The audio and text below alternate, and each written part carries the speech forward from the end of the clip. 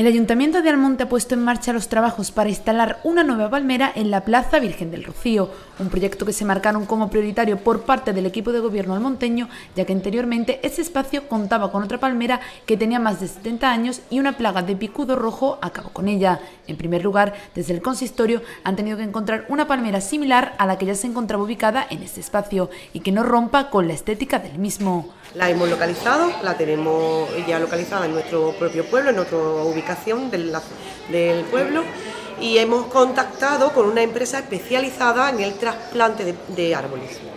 Y en eso estamos.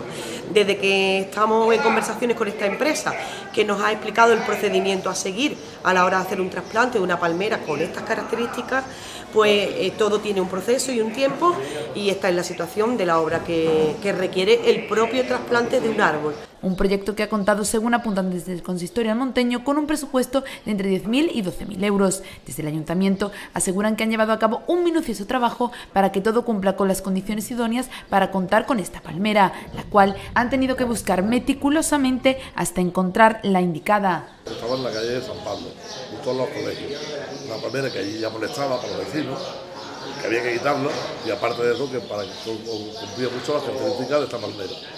Ellos lo han estudiado, me han dado el ok. Una vez finalice el trasplante de esta palmera, desde el ayuntamiento aseguran que la protegerán con la implantación de vallas y pasado el próximo mes de agosto la retirarán para que todos los vecinos y visitantes puedan disfrutar de ella en este espacio, que es uno de los puntos claves para el propio municipio.